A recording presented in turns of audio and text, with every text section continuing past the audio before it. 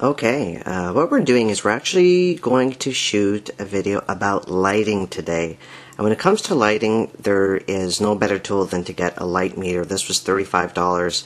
I think it was one of the definitely, I think out of all the investments besides the pH and ppm meter, I would say that this comes into a third, a close third, because, uh, you know, it, it's it's been invaluable as far as detecting how much you know light the plants are getting. So what we want to do is we want to talk about the light meter today. We want to you know talk about the differences between uh, different light intensities, and this is going to measure everything. So it's thirty-five dollars well spent. Now what we're going to do is we're going to actually look at this light meter and talk about its operation for a little bit. So what we have here is we have this dial. Um, it basically has an offsetting.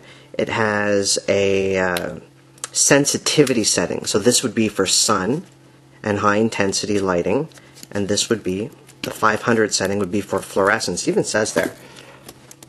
Uh, see, it says fluorescent. It measures in foot candles. So it says that there's fluorescence in the 500 setting. And uh, then when you go to the 5000 setting, you can see there, uh, that's for sun and high intensity discharge lighting. So we have fluorescence and then we have sun and high intensity lighting. So let's move it to 500. Okay, so we do have my ghetto setup of the you know of the CFLs right here. Okay, and, and just for reference, this is how big they are.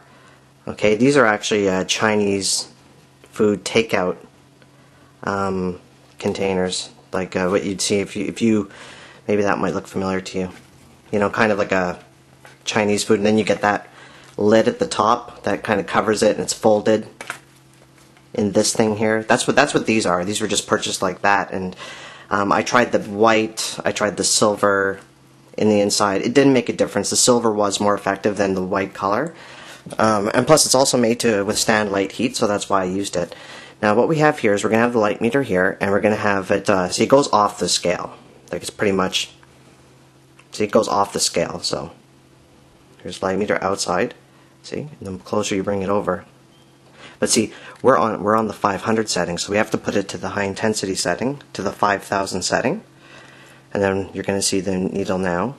Okay, as soon as we start to get near the hood, oh, it's going up. Here's the top of the hood. It's going up. It's going up. That's where that's very acceptable. Okay, if you're getting halfway, it's very acceptable, and we can move it around here. You see, all throughout the canopy of the plant. We can move it here up to the top. It gets there. But the point was was that I can bring it all the way to the end of the hood, and it's still halfway. If I bring it outside the hood, boom, it goes down. Um, so it's like that down here too. Down here, you know, it goes halfway. As soon as you bring it outside, boom, it goes down. Um, just to show you how far I am from the bulb, okay? We're, we're, we're fairly far away from the bulb. See, we're, we're over here, and the bulb is way over there. If we were to go under the bulb directly, you see? But either way, as long as it's under the hood, you're getting good minimal strength. That's for sure. If you go down further, you'll see then it wears down. Okay, so you want um, you want this to be you want the plants. Look at that one. That's nice and tall, almost right up there. Um, the plants are not ideal right now because I've been too busy with other things around the house, so they are not ideal right now. This should be up here, you know, that sort of thing, but I've just been too busy with other things. Um, but they're coming along, okay? So these are the skunk number ones from Nirvana, and uh, what we're going to do is we're going to take you over. Now that you have this reference, we're going to bring you to other sources. We're going to bring you to other places in the house where you can start to see how the sun strength is or how the lighting strength is. So let's let's go do that now. Okay, so we're under a light. We're under a pretty big light in the bathroom. And while it gets the same intensity, you have to understand it's literally an inch away. But as soon as I move it elsewhere, as soon as I move it elsewhere, okay, it loses all its intensity. See? Even if I'm right behind it a little bit, even if I'm right behind the light, I'm right level to it, it still loses its intensity. And you bring it down a little bit, it loses its intensity once again. So it literally has to be almost directly around the light, like that. Okay? So you, there is, you definitely don't get the same amount of coverage. Okay, and uh, here we have a bit of overcast. I'm right by a window. Uh, it's a pretty fairly big window. Um, there is a bit of overcast, and you can see that the high intensity lighting, uh, you know, the daylight setting in the sun, is fairly low.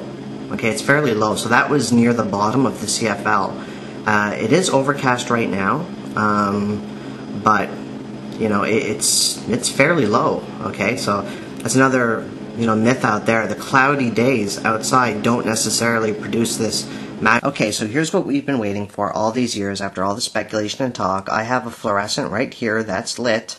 It's a lit fluorescent right there, and about oh I'd say I don't know, maybe four inches away, we have the light meter, and you can see it's doing absolutely nothing.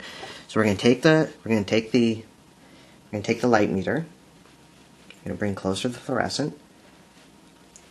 Okay, now it's it's literally a few inches away. We're going to bring it closer. Very weak light, and we're going to take it. We're going to push. Okay, it's touching it. It is literally it is touching the fluorescent. I can't move it any closer, and that's that's the maximum that you're going to get. You're going to get that. That's your maximum, right there. So it, it scores like if so, and as soon as you move it a little bit further away, that's it. See, it almost moves to nothing. Okay, my finger, is, like, I mean, see, you're not getting any light out of fluorescence. Never use fluorescence. That's what I say. Okay, so what we're going to do is we're going to actually take out our, uh, going to actually take out our HPS lighting, okay? And so it's, there it is there. Okay. Okay, we just turned it on. It's heating up right now. Okay. Now you can hear the buzzing. And it wasn't that bad before, I could swear. Hopefully it'll kind of warm up and go away. I really dislike that buzzing. the light's heating up, so we've got to give it a few minutes to heat up uh, to get warm. I've tried to I've tried to push the shield down more. I've tried I've tried various tricks, I'd say, and it doesn't make a difference to be honest. Um, I've tried to do a custom shield around this. I've tried to basically put you know, longer things here, and it just it really didn't make a difference to be honest, as far as the plants were concerned. So, um, I guess it's not fully lit up, but I, I'm. Let's take the light meter now. Edge of the hood. Bring it down. Down. Down. We're still aligned with the edge of the hood, and we're bringing it down, down, down. We are about two feet from the edge of the hood down. Okay. Down, down. Okay, I would say, okay, this is, we're uh, one, two, two and a half feet, I'd say, from the top of the hood. So it's going to be about, you know, a foot from the plants. That's what we're going to do. If you go directly under the bulb, now it's off the chart. It's boom, it's like direct sunlight, it's off the chart. Okay, so let's try and see if we can, okay. There we have it. There we have it. So what I'm trying to show is that the 400 watt, what I'm trying to show is that the 400 watt handles right up against the wall here. What I'm trying to show is that the 400 watt handles basically uh, two and a half by two and a half, okay? 400 watt. We're not going to keep that up there, of course. We're definitely not going to do that. We're going to lower it down near the ground. That's what we're going to do. And there's going to be white sheets, of course as everybody knows. I tried to cover, see this back lightly, uh, light leak over there? I tried to cover that up to see if it, make it made a difference, and it really didn't make any difference as far as the overall light output. What we're going to do is we're going to put our tallest plants near the outside over there, right up against the wall. You see, still goes to halfway.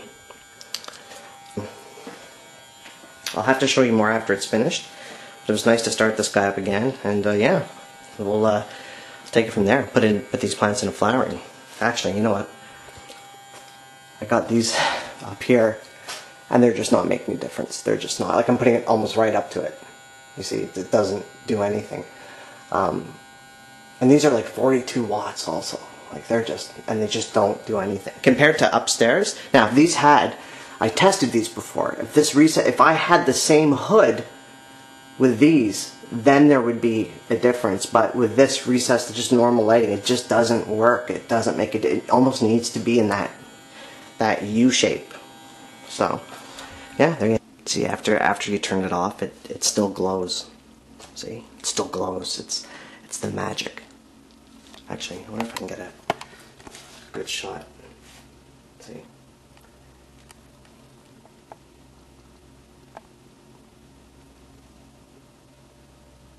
There you go.